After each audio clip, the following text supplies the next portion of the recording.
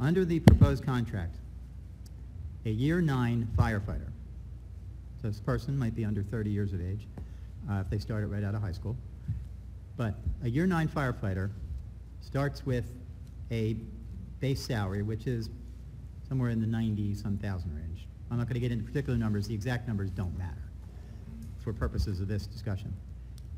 On, now that is based on a presumptive 2,184-hour work year, which is 91 24-hour shifts, which the way the contract, uh, the, the uh, schedules go is firefighters work a 24-hour shift, then they're off the next three days, and they work again, and so forth through the year. When you do the math on a 365-day year, that gives you 91 shifts and a little plus or minus. So everything is premised on that. Within that, they get, this is the year nine firefighter, will get 240 hours of vacation time. Well, that's the equivalent of 10 shifts. So from your 91, I'll call them shifts. From your 91 shifts, take 10 for vacation. You are entitled to 180 hours of sick time.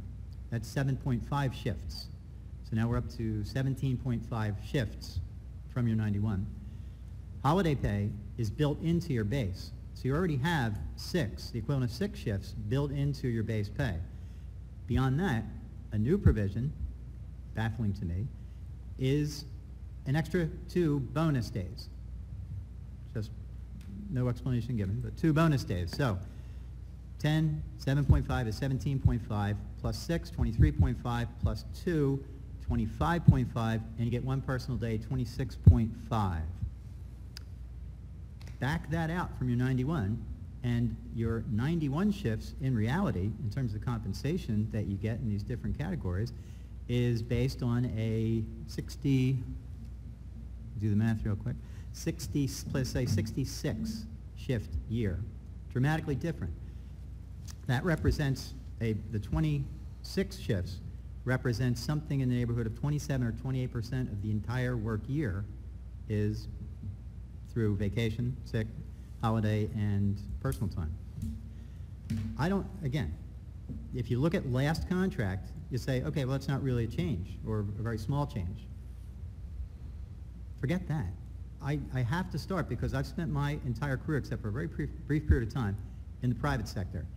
And I know in my field of law what people pay and how much vacation time is normal and how much sick time and all the other categories.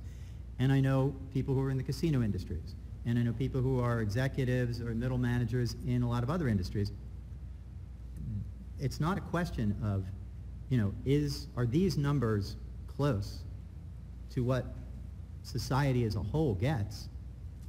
They're, they're just not. I mean, they're, they're way, way, way in excess of anything that I've, I'm familiar with anybody getting. Now, second example, the fire official. Now, city made a decision some time ago that the fire official, who is required to have certain licensures in order to do certain inspections, would be a uniform member of the fire department. They don't have to be. But that was a decision the city made and has continued. So the fire official coming out of the fire department, and doesn't have to be an officer, can be, could be a firefighter, I assume, if you have the right licensures. But the fire official, where the 2,184 yearly total is uh, premised on a rough, an average, 42-hour work week, the fire official only has to work a 36-hour work week. Not sure why that is. That, there's no explanation I've heard for that. The fire official, by reason of being the fire official, gets an automatic 12% bump in pay from whatever was the base pay. So firefighter would get a 12% bump to take him or her, him, to the level of the next level up, which would be lieutenant. A lieutenant would get a 12% bump to equate to captain's salary. That's on, based on the base pay, another 12% to be the fire official. The fire official is off and doesn't get charged any vacation time when City Hall is closed. So the fire official works a four-day week, four nine-hour days, but also gets off anytime City Hall is closed. And as we know, City Hall is closed with some frequency uh, for holidays of different kinds. The fire official gets vacation based on, of course, the firefighter's contract. If the firefighter is an officer, the officer's numbers for vacation are better, higher, than the uh, corresponding numbers for a firefighter. Specifically, an officer, a lieutenant, in years 9 to 15 under this contract, gets 288 hours of vacation time a year. 288 hours on a 36-hour work week equates to eight full weeks. So the fire official gets eight full weeks of vacation, and that's at that level. When you reach the level of 16 years of service, if you're a lieutenant, you get 13 days or 312 hours. If you're a captain, you get at the 9 to uh, 15 level, that's 13 days or 312 hours. At 16, you move up to 14, I call them days, shifts, or 336 hours of vacation. But when you apply it to the fire official, that's eight weeks of vacation. Plus, they get, depending on where they are in seniority, either 120 or 180 hours of sick time. I, again, the function is an important one, of course. We need a fire official. Fire official does not have to be a uniformed member of the department. And does the fire official really require such a rich package? I, I don't understand that. And finally, we have the differential of 12%. There's always been, or not always, there has been in the recent contracts at least, a differential where there's a 12% bump in pay when you move from firefighter to lieutenant, and then another 12% when you move from lieutenant to captain. That continues. Again, I, comparing it to the private sector, comparing it to my own experience, and granted, it doesn't correspond to the unique history of contracts in Brigantine and actually all through Atlantic County, because they follow a very similar trajectory if you look at them over time. Um, but with that said, objectively, looking at it, we are being extraordinarily carefree in our spending, I think. I don't think it's being unfair to ask that we need to take a hard look. Now, again, if, if people are going to say there's no point in doing that because the arbitrator will never hold it up, that's fine, I guess you could say that. I cannot understand how one justifies the, the levels of compensation that we're talking about. I understand how we got here, and I also understand the argument that says once you're here, you're stuck, but it, it is kind of mind-boggling to me. I think the other thing that strikes me is, in addition to what Rick says, uh, being out of stride with the private sector, when you look at what's happening to our local economy, you can see how far out of step it is. Even in other areas of uh, other municipalities, there have been cutbacks and givebacks in the public sector. But in the private sector, people are taking pay cuts and losing their jobs. These are the people who pay taxes. Even though here in Brigantine, we're kind of skewed a little bit because the majority of people who pay taxes don't live here, okay? Most of the people that do are not one percenters, but they're people who are struggling and people who are not only struggling but losing the battle and having to move off the island because of taxes.